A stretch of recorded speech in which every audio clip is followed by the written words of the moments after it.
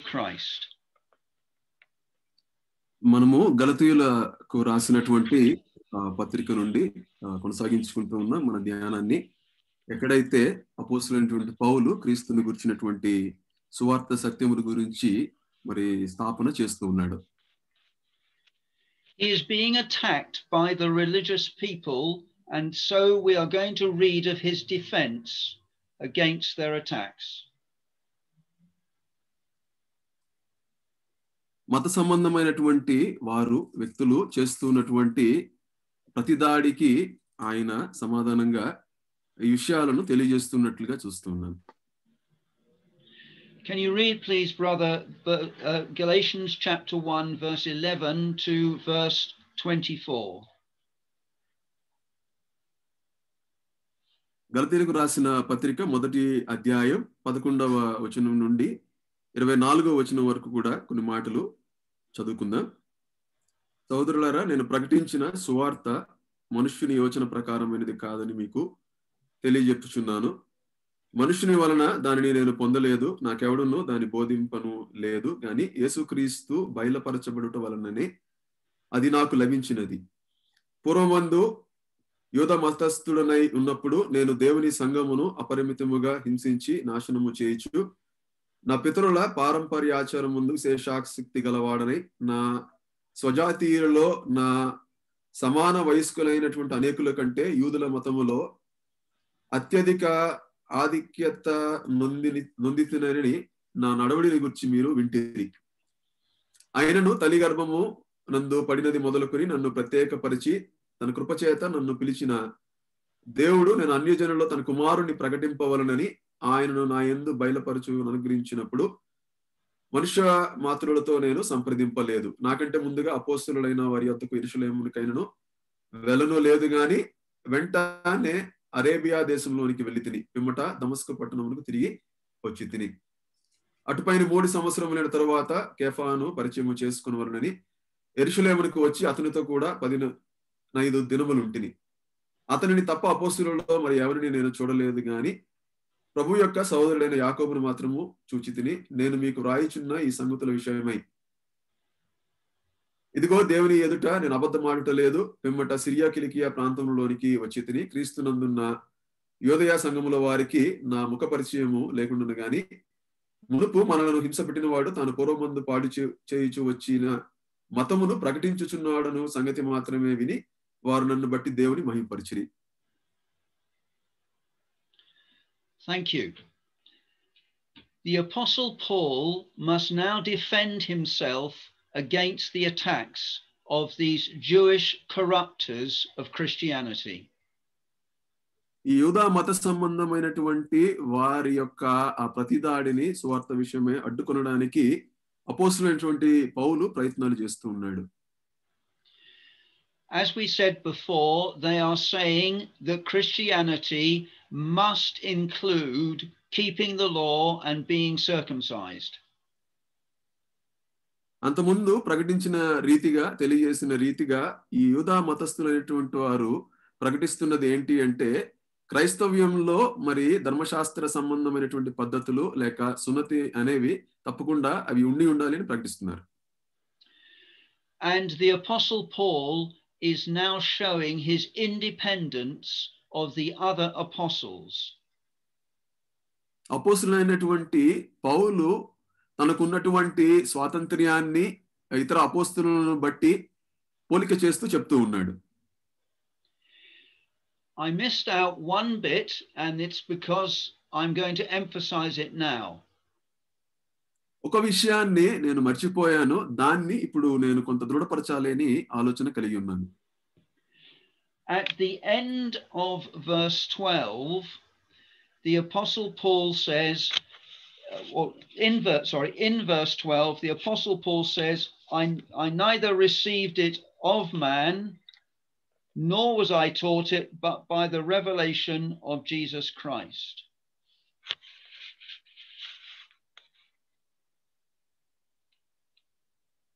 Verse 12.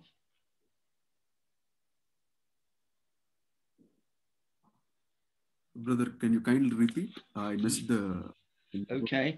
Well, can you read uh, verse 12 then, please?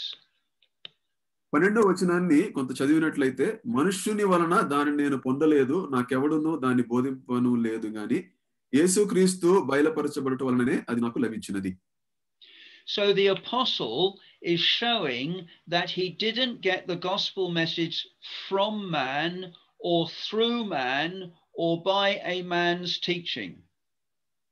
అపోస్తులైనటువంటి పౌలు తెలియజేస్తున్నది ఏంటి అంటే ఈ సువార్త అనున్నది మనుషుల యొద్ద నుండి నేను పొందలేదు అని స్పష్టంగా తెలియజేస్తూ ఉన్నాడు But by God's grace, he was given a special revelation from the Lord Jesus about the truth of the gospel. దేవుని కృపను బట్టి ప్రత్యేకమైనటువంటి ఒక ప్రత్యక్షతను ఈ సువార్త నిమిత్తమై అపోస్తులైనటువంటి పౌలు పొందినట్లుగా తెలియజేయబడుతుంది And this is essential so that they can have real faith in the gospel that the Apostle Paul preached. అపోస్తులైనటువంటి పౌలు ప్రకటిస్తున్నటువంటి ఆ సువార్త ఆ సత్యమును అది తెలియజేస్తున్నటువంటి ఆ విధానాన్ని అక్కడ మనం గమనిస్తూ ఉంటున్నాం So the Apostle Paul will say that he spent time away, but the essential bit is that God, through Christ, revealed this gospel specially to Paul.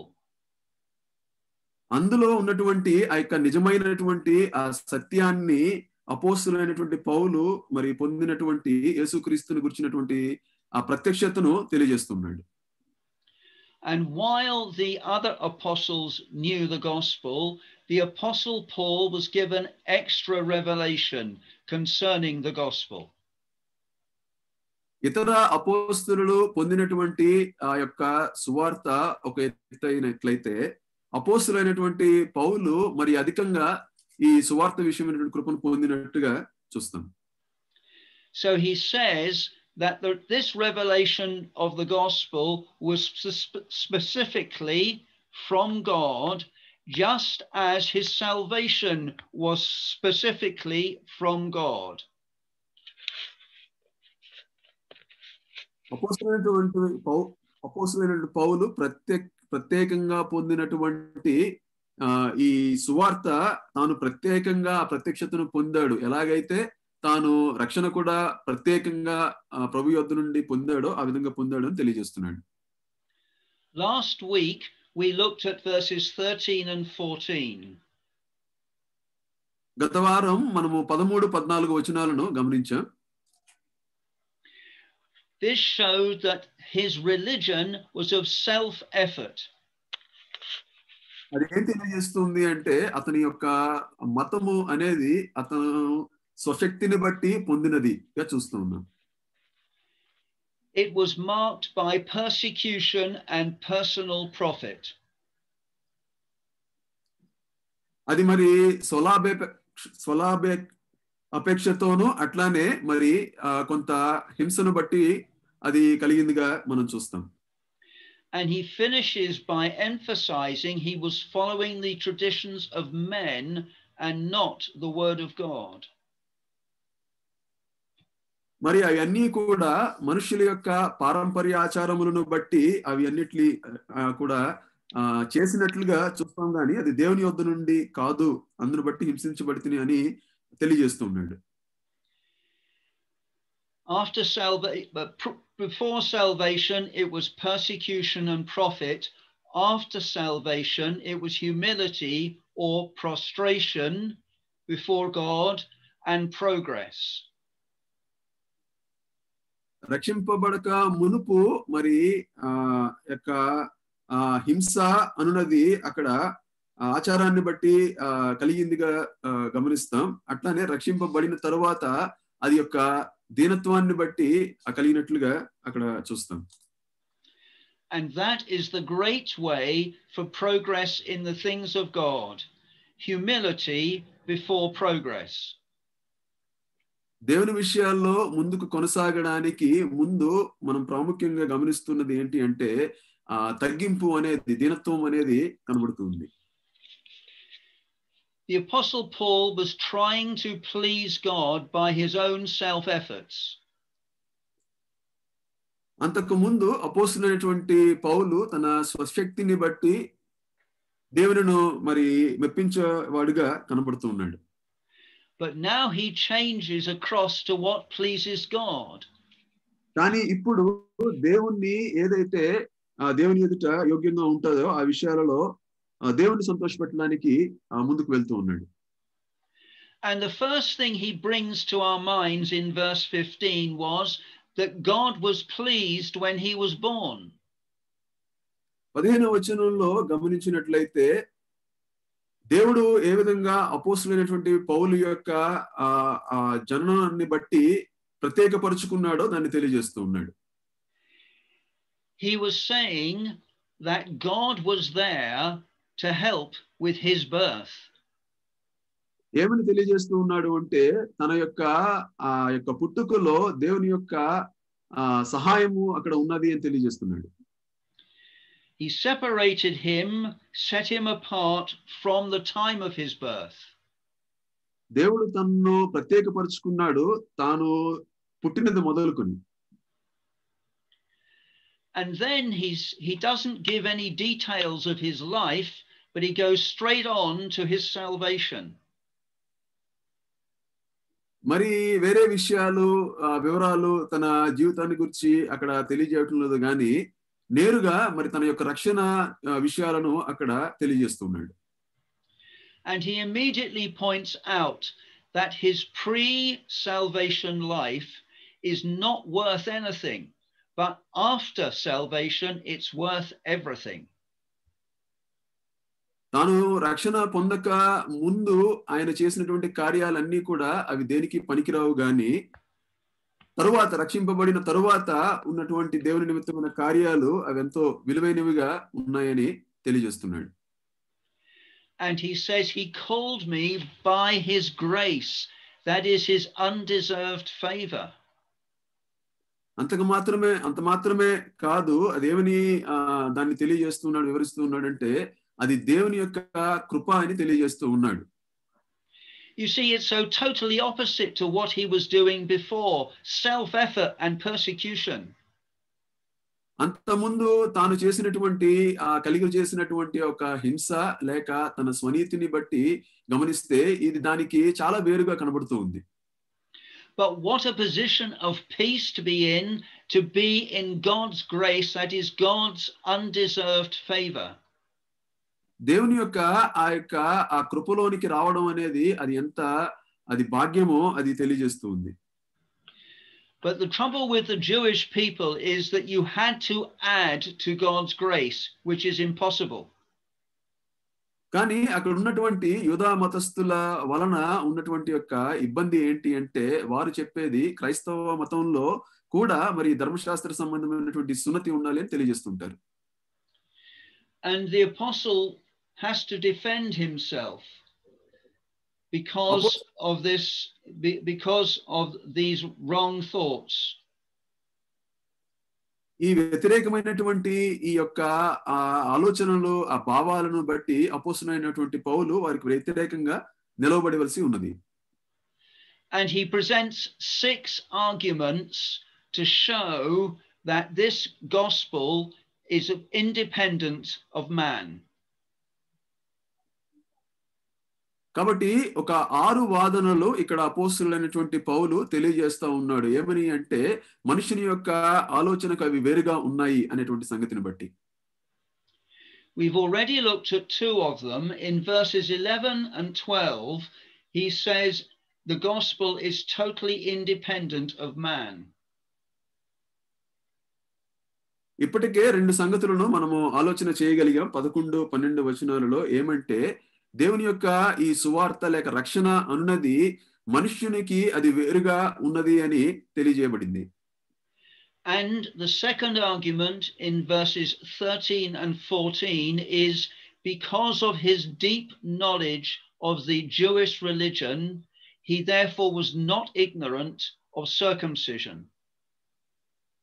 పన్నెండు పదమూడు వచనాల్లో కానీ గమనిస్తే అపోస్తులైనటువంటి పౌలు మరికొన్ని వాదన వాదనలు అక్కడ తెలియజేస్తూ ఉన్నాడు తను ఏమాత్రము ఆ యూద సంబంధమైనటువంటి ఆ మత సంబంధమైన సున్నతి అనేది తెలియని వాడిగా లేను అని తెలియజేస్తూ ఉన్నాడు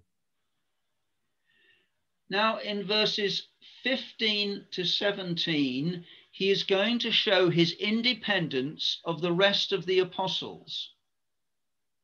పదిహేను నుండి పదిహేడు వచనాల వరకు కూడా గమనిస్తే ఆ తక్కినటువంటి ఆ అపోస్తుల అందరికంటే కూడా ఈయన ఏ విధంగా ఆ వారితో జతగాలేడో లేక స్వాతంత్ర్యాన్ని కలిగి ఉన్నాడో వేరుగా అది తెలియజేస్తున్నాడు Then he's going to say in verses um, 18 to 20, uh, 24 that he was only with Peter and James for 15 days. అంత మాత్రమే కాదు పద్దెనిమిదవ వచనం నుండి ఇరవై నాలుగవ వచనం వరకు కూడా గమనిస్తే అక్కడ అపోస్తున్నటువంటి పౌలు పేతురుతోనూ కేఫాతోనూ అట్లనే యాకోబుతో మాత్రమే ఒక పదిహేను దినాలు గడిపినట్లుగా తెలియజేస్తున్నాడు Then in chapter 2, verses 1 to 10, he's going to show that the other apostles are completely in harmony with this message that he preaches. అంత మాత్రమే కాదు రెండవ అధ్యాయంలో మొదటి వచనం నుండి పదవ వచనం వరకు కూడా గమనిస్తే ఆ తక్కిన అపోస్తులందరూ కూడా ఏ సువార్తనైతే పొంది వారు ప్రకటిస్తూ ఉన్నారో పౌలు ప్రకటిస్తున్నటువంటి సువార్త కూడా ఎంత మాత్రం కూడా భిన్నంగా కాదు కానీ దానితో సమతుల్యంగానే ఉన్నది అని చెప్పి తెలియజేస్తున్నాడు And his sixth defense is seen in chapter 2, verses 11 to 21, where he shows where Peter has become inconsistent. రెండవ అధ్యాయం పదకొండవ వచనం నుండి మిగతా ఆ వచనాలను కానీ మనం గమనించినట్లయితే అక్కడ ఆరవ వాదనను కూడా తెలియజేస్తూ ఉన్నాడు అపోస్తున్నటువంటి పేతురు ఏ విధంగా మరి అక్కడ ఆ క్రమంగా లేడో ఆ విషయాలలో ఆ ఆ విషయాల్లో కూడా ఆ, ఆ మాట తెలియజేస్తున్నాడు Now you'll notice what God's purpose is in saving Paul, which is seen in verse 16.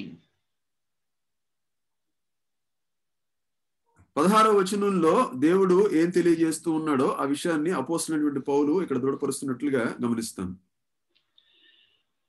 The first reason is to reveal his son in Paul.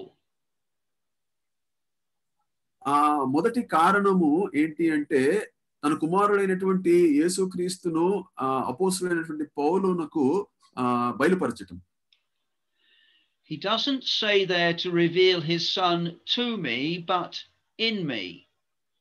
అక్కడ ఆ నాకు ప్రత్యక్షపరచబడింది అని తెలియజేయటం లేదు కానీ యేసుక్రీస్తు నందు అని క్రీస్తు నందు నా నాయందు అని తెలియజేస్తూ ఉన్నాడు However, for him, for the Apostle Paul to reveal the Lord Jesus, God had to reveal truth to him. ఎట్లా ఉన్నప్పటికీ కూడా అపోసులైనటువంటి పౌలునకు దేవుడు తన కుమారుడైనటువంటి యేసుక్రీస్తును ప్రత్యక్షపరిచినట్లుగా బయలుపరిచినట్లుగా చూస్తాం So the Apostle Paul says his primary thing in life is to reveal the character of the Lord Jesus. అపోస్తులైనటువంటి పౌలు యొక్క జీవితంలో ప్రాథమికంగా గాని గమనిస్తే ప్రభువైన యేసుక్రీస్తు యొక్క గుణాతిశయాలను ప్రత్యక్షపరచడానికి తెలియజేయడానికి పౌలు ఉన్నట్లుగా తెలియజేస్తున్నాడు You'll notice he doesn't say to reveal Jesus through me. అక్కడ మనం గమనిస్తే యేసుక్రీస్తు ప్రభువును నా ద్వారా ఆ ప్రత్యక్షపరుస్తున్నాడు దేవుడు అని చెప్పటం లేదు తెలియజేయటం లేదు To reveal Jesus would be just to reveal the person on the earth that they saw. ప్రభుైన యేసును ప్రత్యక్షపరచడం అంటే ఆ అక్కడ శరీరధారిగా ఉన్నటువంటి ప్రభును ప్రత్యక్షపరచడం మాత్రమే. But to reveal his son is to reveal the total person of Christ. కుమారుణ్ణి ప్రత్యక్షపరచడం బయలుపరచడం అంటే ఆ సంపూర్ణతలో ఉన్నటువంటి ఆ కుమారుణ్ణి ప్రత్యక్షపరచడం. శరీరధారిగా ఉన్న ప్రభువును మాత్రమే కాదు సంపూర్ణంగా ఉన్నటువంటి ప్రభువును ప్రత్యక్షపరచడం. And that's what God wants us to do to reveal his son to others. అది నిజముగా దేవుడు చేయాలి అనుకుంటూ ఉన్నటువంటి లేక అందరికీ ఆయన కుమారుణ్ణి ప్రత్యక్షపరచడం అన్నది అక్కడ తెలియజేయబడుతుంది Of course, we don't do that in perfection like the Lord Jesus did. ప్రభువైనటువంటి యేసుక్రీస్తు చేసినంతగా చేసినట్లుగా అంత సంపూర్ణతతో బహుశా మనం చేయలేకపోవచ్చు But when eternal life is received, that great gift, then it changes, begins to change us from the inside out. ఎప్పుడైతే ఆ రక్షణ యొక్క ఆ యొక్క ఆ బహుమానాన్ని లేక వరాన్ని ఎప్పుడైతే ప్రభు యేసుక్రీస్తు ద్వారా ఒక వ్యక్తి పొందుతాడో అంతరంగంలో అంతరంగంలో ఉన్నటువంటి యొక్క మార్పును బట్టి అది మరి తెలియజేయబడుతూ ఉంది You see, the Apostle Paul emphasizes this in other places in the New Testament. నూతన నిబంధన గ్రంథంలో వేరే ఆ, ఇతర ఆ, యొక్క ఆ, పుస్తకాలలో కూడా చాలా భాగాలలో అపోసిన పౌలు దీన్ని మరి దృఢపరుస్తున్నట్లుగా ఈ సత్యాన్ని చూస్తాం 1 Corinthians chapter 11, verse 1, he says, Be you followers of me, even as I am also of Christ. కొరింతలకు రాసినటువంటి మొదటి పత్రికలో మనం గమనిస్తే నేను క్రీస్తును వెంబడిస్తున్నటువంటి ప్రకారము మీరును ప్రభువుని వెంబడించండి అని ఆ పదకొండవ అధ్యాయం మొదటి వచనంలో అపోసిన పౌలు చెబుతూ ఉన్నాడు In Ephesians 3, verse 17, he says that Christ may dwell in your hearts by faith. ఎఫ్ఎస్సీలకు రాసినటువంటి పత్రికలో ఆయన చెప్తున్నటువంటి మాట ఏంటి అంటే ఆ ప్రభువును గూర్చి పాడుచు ఆయనను మీ హృదయములలో ప్రతిష్ఠించుకునుడి అని తెలియజేస్తూ ఉన్నాడు Ephesians 3, verse 19 says, And to know the love of Christ which passes knowledge. అంత మాత్రమే కాదు మూడవ అధ్యాయం ఎఫ్ఎస్సీలకు రాసిన పత్రిక పంతొమ్మిదవ వచనంలో ఆ క్రీస్తు ప్రేమను తెలుసుకున్నట్టుకు ఆ మీరు తగిన శక్తి గలవారు కావాలనని అందులో వేరుపారి ఉండాలి అని తెలియజేస్తూ ఉన్నాడు And while we don't have time to talk about it here, every believer is constantly loved of God. మరి ప్రతి విశ్వాసి కూడా ఆ దేవుని చేత శాశ్వతంగా ప్రేమించబడుతూ ఉన్నాడు అది ఆ, ఎక్కువగా వివరించుకోవడానికి ఇక్కడ సమయం సరిపోదు కానీ Sometimes circum- adverse circumstances happen in our lives. కొన్నిసార్లు ప్రతికూలమైనటువంటి పరిస్థితులు మన జీవితాల్లో ఏర్పడుతూ ఉంటాయి And immediately we begin to say, What is wrong with me? వెను వెంటనే మనము ఆ నాతో లేక నాకు ఆ, ఏం ప్రాప్తించింది ఈ విధంగా సంభవించడానికి అని అనుకుంటూ ఉంటాం And while it is true that there sometimes has sin committed which has its adverse effects in our lives, కొన్నిసార్లు అది నిజమే అది వాస్తవమే. మనం చేసినటువంటి పాపమును బట్టి మన జీవితాల్లో అటువంటి ప్రతికూలమైనటువంటి పరిస్థితులు ఏర్పడుతూ ఉంటాయి. Just because adverse circumstances come into your life does not necessarily mean that God does not love you. ప్రతికూలమైనటువంటి పరిస్థితులు ఏర్పడుతున్న బట్టి మనం ఈ విధంగా అనుకునరాదు దేవుడు ఒకవేళ మనల్ని ఆయన ప్రేమించడం లేదేమో అని. The love of God and of Christ to us is totally constant. దేవుని యొక్క ప్రేమ ప్రభువులో ప్రభు అయిన క్రీస్తులో మన పట్ల అది శాశ్వతమైనదిగా మారినదిగా ఉన్నది But we have an attitude of mind that if life is going well, then God loves us. And if life is not going well, then God does not love us. కానీ చాలా సార్లు మన వైఖరి ఏ విధంగా ఉంటది అంటే అన్ని బాగా కొనసాగుతూ ఉన్నప్పుడు దేవుడు మనల్ని ప్రేమిస్తూ ఉన్నాడు అని అనుకుంటాం. ప్రతికూలంగా ఉన్నప్పుడు వ్యతిరేకంగా ఉన్నప్పుడు దేవుడు మనల్ని ప్రేమించడం లేదేమో అనుకునేటువంటి వైఖరి. You see, we can tell the world God loves them, but when it comes to us, we sometimes don't feel that way.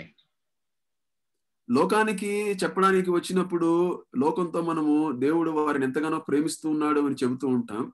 కానీ వ్యక్తిగతంగా మన విషయానికి వచ్చినప్పుడు అంతగా దాన్ని అనుభవించలేకపోతూ ఉంటాం God says, I have loved you with an everlasting love. దేవుడు ఆయన చెబుతూ ఉన్నాడు శాశ్వతమైనటువంటి ప్రేమతో నేను నిన్ను ప్రేమిస్తూ ఉన్నాను అని So it doesn't mean that God loves me just when things go well. కాబట్టి దాని యొక్క అర్థము అన్ని బాగా జరుగుతున్నప్పుడు మాత్రమే దేవుడు నన్ను ప్రేమిస్తూ ఉన్నాడు ప్రేమిస్తాడు అని కాదు But that means that God still loves me even when things are hard and cir- adverse circumstances are around. అంత మాత్రమే కాదు దేవుడు మన యొక్క కష్ట సమయాలలో ప్రతికూలమైనటువంటి సమయాల్లో కూడా ఆయన మనల్ని ప్రేమిస్తూ ఉంటాడు అనే సంగతిని గమనిస్తాం Sometimes it's difficult to believe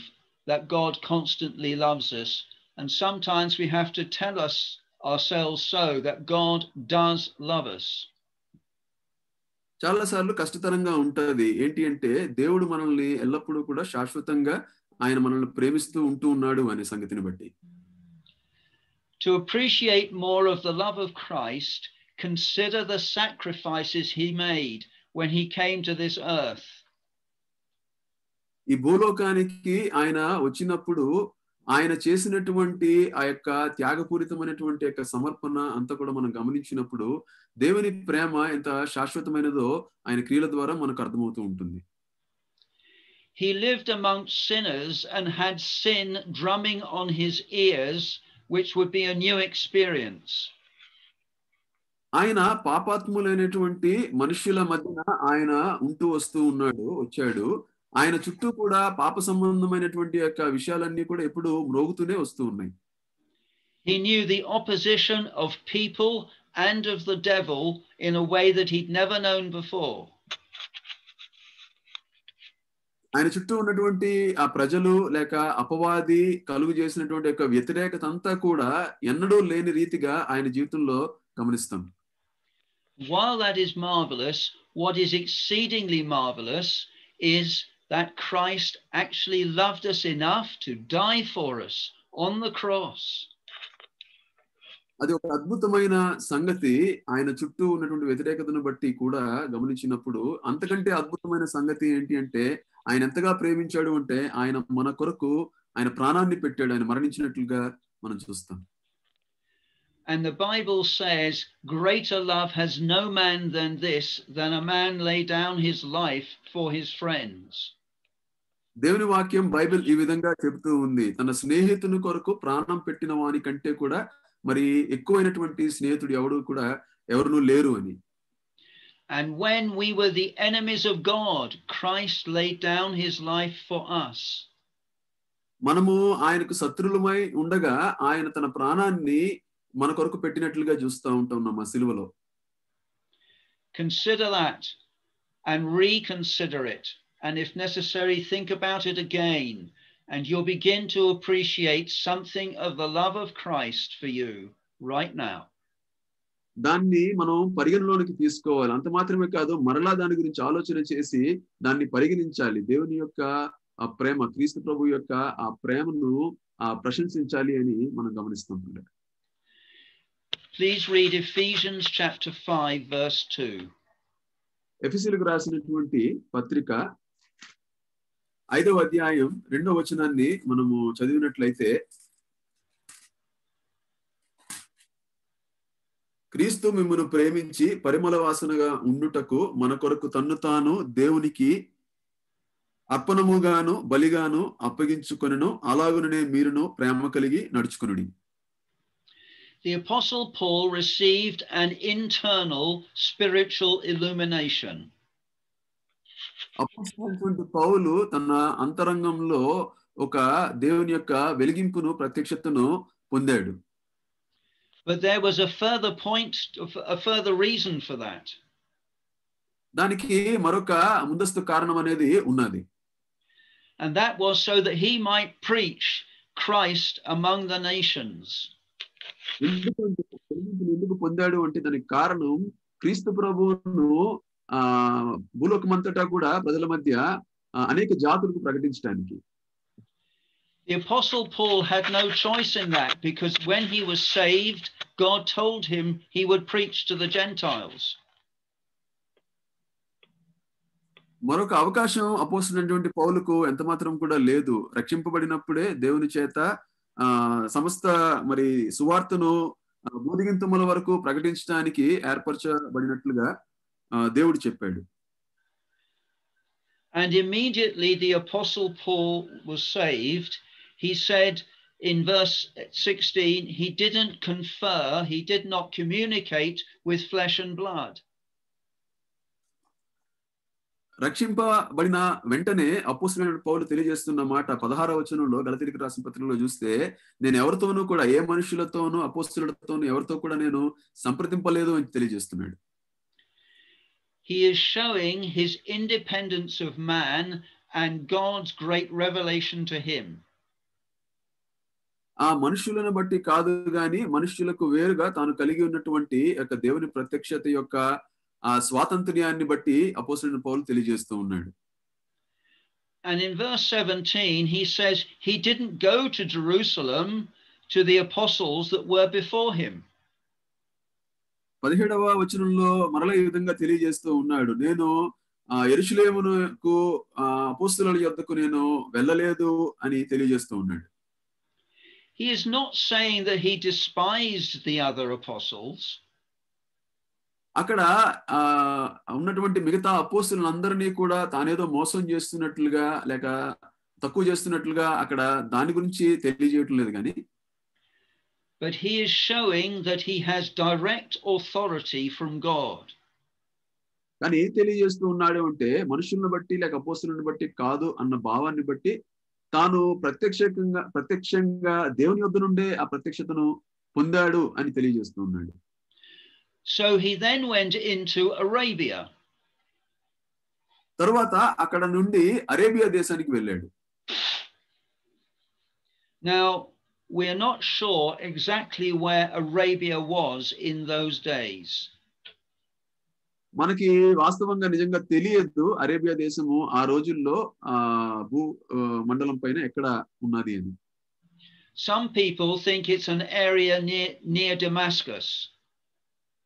కొంతమంది యొక్క అభిప్రాయం ఏంటి అంటే దమస్కు దగ్గరగా ఈ అరేబియా దేశం ఉన్నది అని అభిప్రాయపడుతుంటారు Others think that it could be an area near the near Sinai.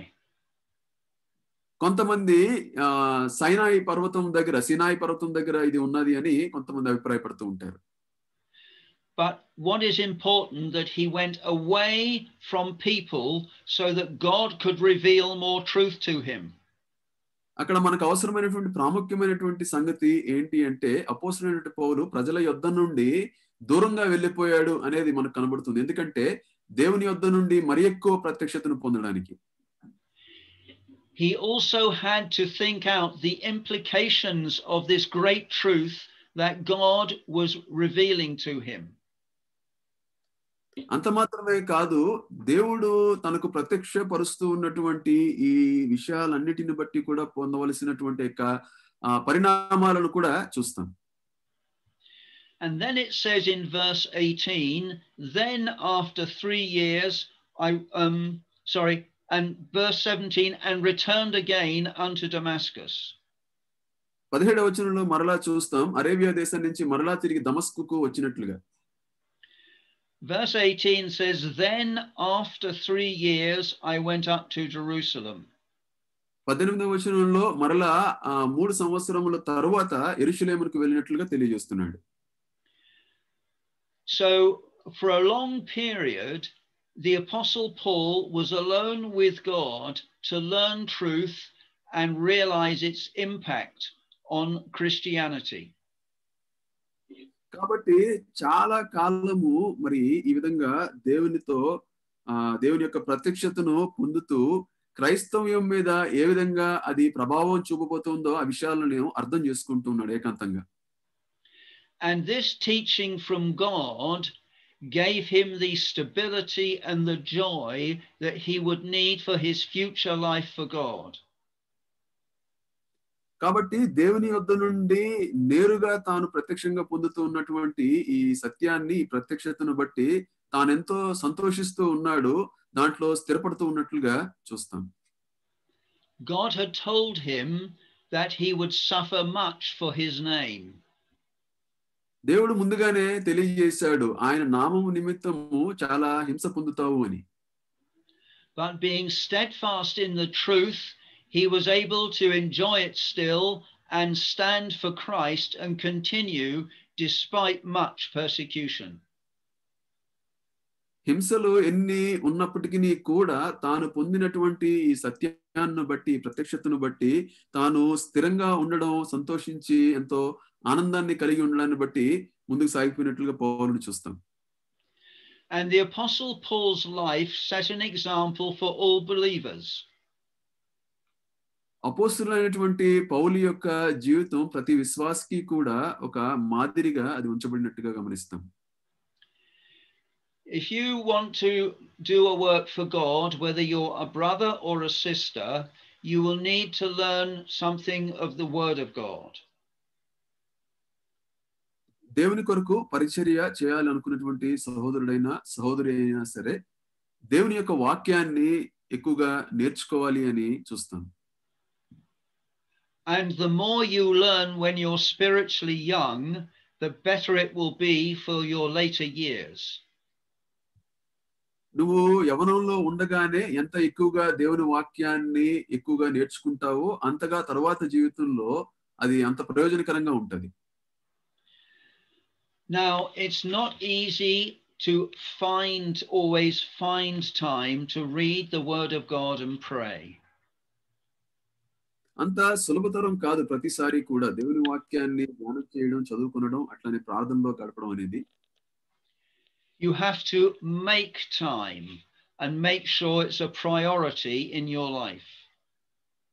నువ్వు దాని కొరకు ప్రాముఖ్యంగా కల్పించుకోవాలి ఆ సమయాన్ని నువ్వు కల్పించుకుని అది ప్రాధాన్యంగా నీ జీవితంలో ఉండినట్లుగా చూసుకోవాలి You might think there's so much to learn.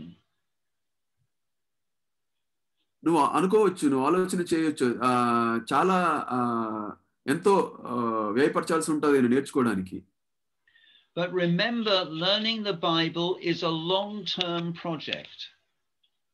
కానీ గుర్తుపెట్టుకోవాల్సినటువంటి ఒక విషయం ఏంటి అంటే నిజముగా దేవుని వాక్యాన్ని బైబిల్ నేర్చుకోవడం అనేది అది చాలా అది ఒక పెద్ద ప్రణాళికగా తరాలబడి అది ప్రణాళికగా చూస్తాం. It is something that you read for yourself and you learn through others as well.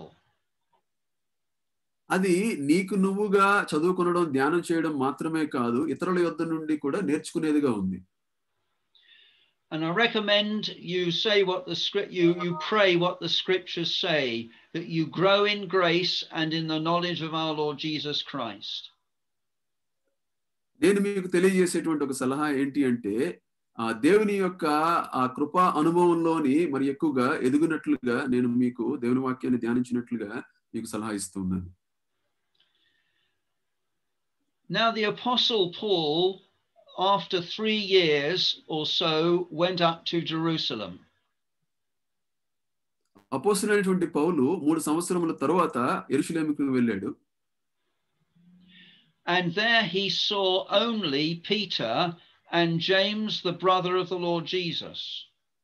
అక్కడ అపోస్తులైనటువంటి పేతుర్ని చూచాడు అట్లానే యేసుక్రీస్తు ప్రభు యొక్క సహోదరుడైనటువంటి యాకోబును కూడా అక్కడ కలిశాడు This was showing that there was good relations between himself and the other apostles. తన మధ్యను అట్లానే ఇతర అపోస్తుల మధ్యను ఉన్నటువంటి ఒక చక్కటి సత్సంబంధాన్ని అది తెలియజేస్తుంది And he was with them too for 15 days only. వారితో కూడా కేవలము పదిహేను దినాలు మాత్రమే ఉన్నాడు Why did he go to see Peter? ఎందుకు పేతురుని చూడడానికి వెళ్ళాడు Because Peter was a prominent apostle, but not the greatest apostle.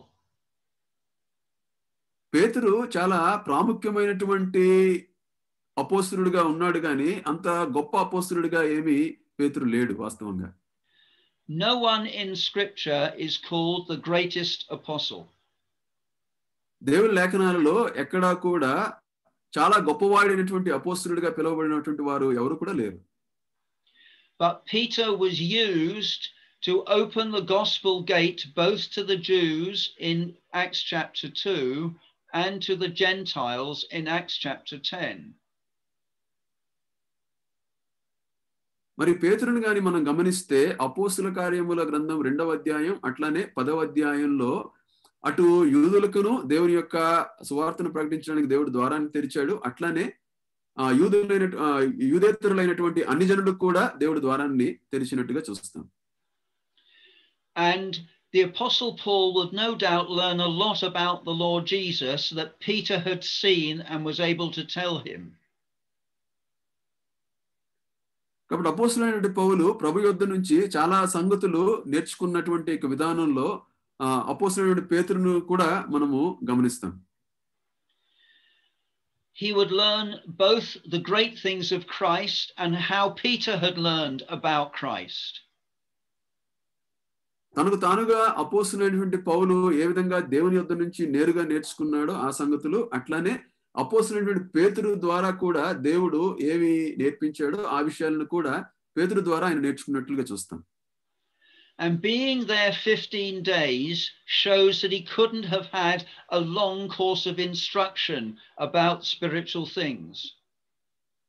పదిహేను దినాలు అక్కడ ఉండడాన్ని మాత్రమే మనం గమనిస్తే అక్కడ మరి ఎక్కువైనటువంటి ఆ యొక్క ఆత్మీయమైనటువంటి సత్యాలను పొందుకున్నవాడుగా అక్కడ అపోసరైనటువంటి పౌలు లేడు And in verse 19, he says, But other of the apostles, he didn't see any except James, the Lord's brother. ఇంకా పంతొమ్మిదవ వచనంలో అక్కడ ఆ అపోస్తులైన ఆ అపోస్తులైనటువంటి పేతురుని తప్ప వేరొక అపోస్తులను మరి నేను చూడలేదు ఆ అంత మాత్రమే కాదు ప్రభు యొక్క సహోదరుడైన యాకోబును మాత్రమే చూచితిని అని రాస్తున్నాడు That seems to reveal that the other apostles were not in Jerusalem at that time. అదేం తెలియజేస్తుంది అది ఏం ప్ర- అది ఏమి ఆ, నిరూపిస్తుంది అంటే అక్కడ మరి ఇతర అపోస్తులు ఆ సమయంలో ఎరుశలంలో వారు లేరు It also shows the expansion of the numbers of the apostles. అంత మాత్రమే కాదు అపోస్తుల యొక్క సంఖ్య పెరగడాన్ని కూడా తెలియజేస్తుంది You see, James, the Lord's brother, wasn't saved until after the resurrection. యాకోబు ప్రభు యొక్క సహోదరుడు మరి ప్రభువు పునరుద్ధానుడు అయిన తరువాత వరకు కూడా రక్షణ పొందలేదు But now he's considered an apostle.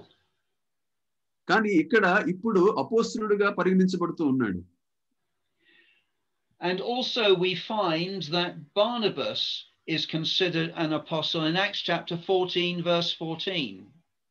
అపోస్తుల కార్యముల గ్రంథం పద్నాలుగవ అధ్యాయం పద్నాలుగవ వచనంలో గమనిస్తే అక్కడ బర్నబా కూడా అపోస్తులుడుగా అక్కడ పరిగణించబడుతూ రాయబడుతుంది And so the 12 apostles expanded a bit with extra apo- some extra apostles added to them as well as Paul. కాబట్టి ఈ పన్నెండు మంది అపోస్తులుడు మాత్రమే కాదు వారికి జతగా దేవుడు మరికొంతమంది అపోస్తులుడు అపోస్తులు పౌలుతో కూడా కలుపుకొని మరికొంతమంది అపోస్తులు అక్కడ ఏర్పడినట్లుగా చూస్తాం So then he goes on in verse 20 to really strengthen his argument. అక్కడ ఇరవై వచనంలో నిజముగా తన యొక్క వాదనను అక్కడ బలపరచడానికి బలోపేతం చేయడానికి అక్కడ ముందుకు అక్కడ ఇరవై వచనంలో మనం గమనిస్తాం He says, Now the things that I write unto you, behold, before God I lie not. ఇరవై వచనంలో అక్కడ నేను మీకు రాయించినటువంటి ఈ సంగతులు అన్ని కూడా ఇదిగో దేవుని ఎదుట అవి వాస్తవంగా సత్యంగా ఉన్నాయి నేను అబద్ధం ఆడటం లేదు అని తెలియజేస్తున్నాడు You see, they could say, This is a very odd way of life, Or unusual way of life, perhaps. ఇది చాలా వేరుగా ఉండేటువంటి అసాధారణంగా ఉండేటువంటి మన జీవితాలు మనకు కనబడుతూ ఉంటాయి Are you really sure you spent all this time much on your own? చాలా సమయాన్ని నీకు నువ్వుగా అక్కడ మరి గడిపినట్లుగా ఉంటది And he emphasizes that what he has spoken is the truth before God. అంటూ అక్కడ దృఢంగా చెప్తూ ఉన్నాడు ఏంటి అంటే తాను ఏదైతే మాట్లాడుతూ తెలియజేస్తూ ఉన్నాడో అవన్నీ కూడా దేవుని ఎదుట నేను తెలుసుకున్న సంగతులు వాటిని తెలియజేస్తూ ఉన్నాను అన్నట్టుగా చెబుతూ ఉన్నాడు So the God who had the pleasure at his birth is the God now before whom Paul lives.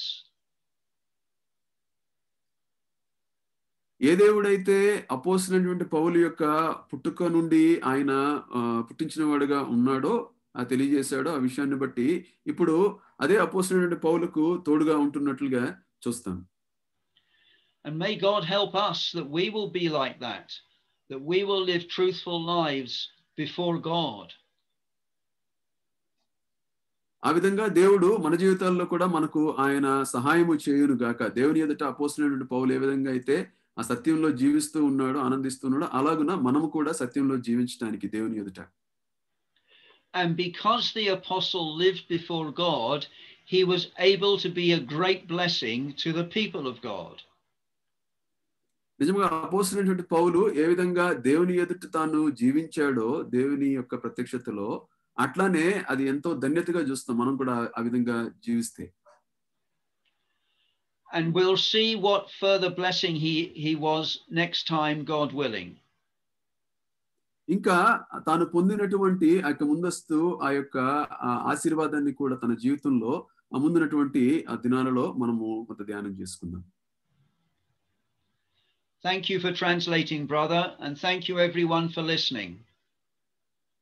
తర్జుమా చేసినందుకును అట్లానే ఆ ధన్యవాదాలు తెలియజేస్తూ ఉన్నాను విన్నటువంటి మీ అందరికీ కూడా నా ధన్యవాదాలు తెలియజేస్తూ ఉన్నాను Does anybody have any questions, please? ఎవరికైనా ఏమైనా ప్రశ్నలు ఉన్నాయా దయచేసి తెలియజేయండి